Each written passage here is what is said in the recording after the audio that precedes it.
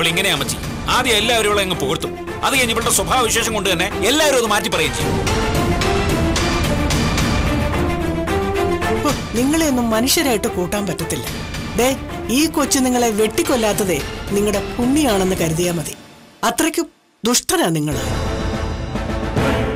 ഈ പ്രായത്തിലുള്ള നിങ്ങളുടെ മോൾ കഷ്ടപ്പെട്ടാ ജീവിക്കുന്നത് നന്നായിട്ട് പണിയെടുത്താ ജീവിക്കുന്നത് അത് മനസ്സിലാക്കാതെ ഇവിടെ വന്ന് ഇനി ഇവിടെ എന്തെങ്കിലും പറഞ്ഞു അത് നിങ്ങളുടെ അവസാനത്തെ പറച്ചിലായിരിക്കും. ഡോ ഇവക്കും കാണില്ലടോ. മറ്റു കുഞ്ഞുങ്ങളെ പോലെ ആഗ്രഹങ്ങളൊക്കെ? കല്യാണം കഴിച്ച് കുടുംബമായിട്ട് ജീവിക്കണം എന്നൊക്കെ ആഗ്രഹം കാണില്ലേ?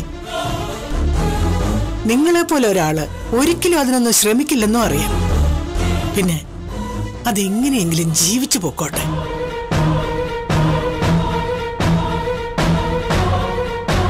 ഏതായാലും ഇവിടെ വന്ന് ആഹാരം കഴിച്ചിട്ട് നല്ല അഭിപ്രായം പറഞ്ഞല്ലോ. അതൊക്കെ ഈ കുഞ്ഞുണ്ടാക്കിയതാ.